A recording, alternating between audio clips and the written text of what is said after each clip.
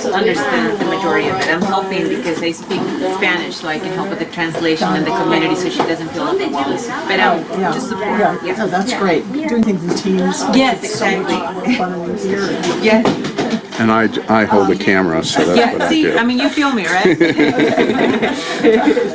Okay, so when you, when you said at the very beginning was just sounded really good, can you just say again, like, what the, what, the, pu- what the uh, public engagement process is, and then we'll get into Yeah, yeah, so we're going to, I believe, 37 different places throughout the Bay Area. Um, we're going to farmers markets, in case, libraries, um, and we're also at open streets events, um, transit stations as well. And basically trying to get feedback from folks just like you about what you think about the area in the next 30 years. So it's just our way of trying to understand like what folks are So this is great being here at, you know, Pickleweed Library and just seeing what's here. So, so we understand there's the kids program going on right now, and then you're gonna be doing a presentation in Spanish. Do you wanna just say a little bit more about that? Yeah, so throughout the, our different consultations that we've gone on, we're calling them pop-up workshops, they're not really workshops, but they're pop-up. Um, and basically, we're asking simple questions of folks to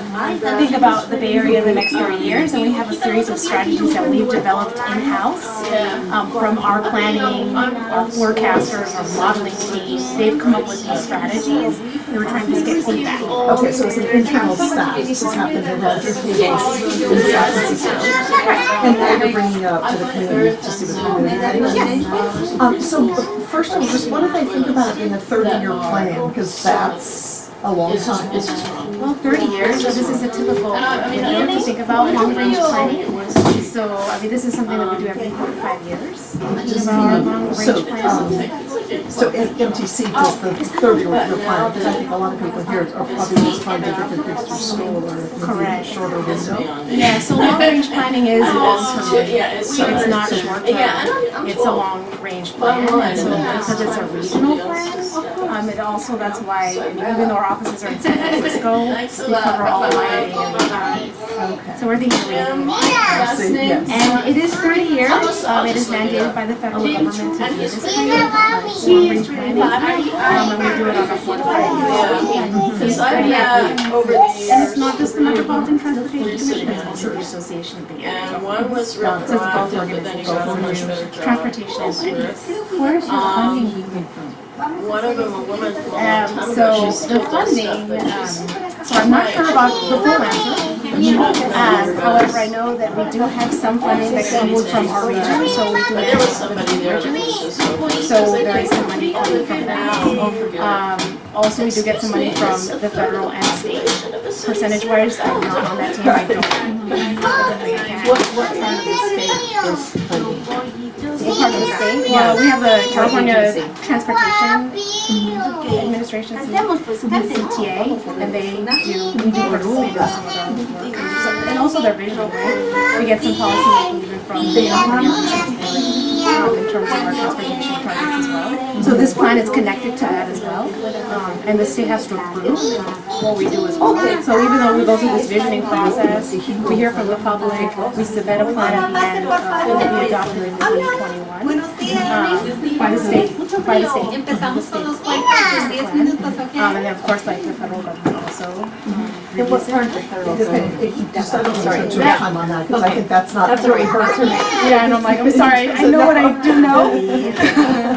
Uh, so you talked about using, these were called pop, pop-up workshops or Yes, pop-up events. well, we'll call them pop-ups, but they're, they are a form of workshop. So I'm curious about how you decided to use that as a forum for public engagement, because my background is kind of in doing, Tiene mucha hambre y in, you know, strategies of bringing people together. So I'm curious about how you decided on using pop-up events. Well, um, this was even before my time, so I've only been working at MTC for about 15 months, so this was decided even way before I began. Um, so this was something, yeah, basically was like, we're doing this, I was like, great. So, It's so anyway. it going? Can you tell us how, like, this is, how many have you done? You've done like twenty or so? Um, I believe we've done about 29 already, and we have about maybe like seven more to go. This is one of the seven, I believe. Um, I looked at the spreadsheet yesterday. So you don't do all of them? No, no, no. I mean, we have a huge team of people that go out. Um, we have different language needs, of course. Sure. So we have staff that speaks Spanish, staff that speaks Chinese, um, Cantonese, and Mandarin, and so it just depends. Um, those are the three languages that are, I mean, English, Chinese, and Spanish are the three most spoken languages, so we want to make sure that we have representation from all of those communities. Yeah, but of course, we have other language needs, and so we are considering other languages as well. Except in those twenty plus events that you've done, like what kind of turnout have you had? Um, well, I, I was just recently with my colleagues Venus, we were at the Dia de los Muertos event on Saturday, made a tremendous crowd. And where was that? In Oakland. Oh, in Oakland, um, yeah. Vale, um, and um, over a thousand people. there. So we were there uh, all of three hours, and boy, did we get a lot of comments, Mm-hmm. a lot of feedback from each. So, So what, how do you, what kind of comments do you get? Oh, all kinds. I mean, people say, "Oh, I love this strategy. However, you should change this thing," or "Oh, I don't like this this idea because blah blah blah," or they just come up with no ideas. So we have a board for like, "I like your idea," "I don't like the idea," or "I have a meeting." And so we're considering all of them. We're compiling this in a uh, database format, and we're basically like compiling all the comments and aggregating. So when you are asking about the ideas, are they looking at, you know, like timing or budgets or what, what kind of criteria are you looking for? I guess maybe more the question is, what are you looking for in of this input from the post-it notes to be able to shape the thirty-year plan? So what do we want to know for on target? I was thinking about Marin Transportation Authority, I would be thinking about how do I evacuate people? How do I get people around? What if sea level rise happens, what happens to all the housing here? What happens to people that don't have uh, more than one month's rent? You know what I mean? Because, I mean, what's your backup when you're making minimum wage and you don't have that money to move? I mean, how are you planning for that? Because that, when I look at the Bay Area like that, Well, I just want to be mindful that story time's gonna start in the morning. Oh, yeah, so, yeah, and the pet families are coming. Um, so if you don't mind, um, I, you do, do need to switch gears because we need to make sure. Absolutely. Yeah, and, and even a simple answer, a one second answer would be great in terms of your planning. The most, part- the most important part of this plan is for people to think about the region. So just not just think about the community, but also like have them think about, um, being connected to their local electeds as well. So this is like part of like, we're, we're region-wide, we're thinking big here. But we're not, um, we're not city representatives, like we can't answer the landfill question, like that's not, that's not, you know what I mean? Like, And I know that, but you're, you're presenting yourself as a transportation authority, and you have, it sounds like a lot of backing, and you're dealing with the state and the feds. So I would think you'd be at least discussing these issues and then sharing those, that outlet with the community, because these people are gonna be directly affected by the things that I just brought up. I mean, I would think that'd be part of your conversation, that's all I'm saying.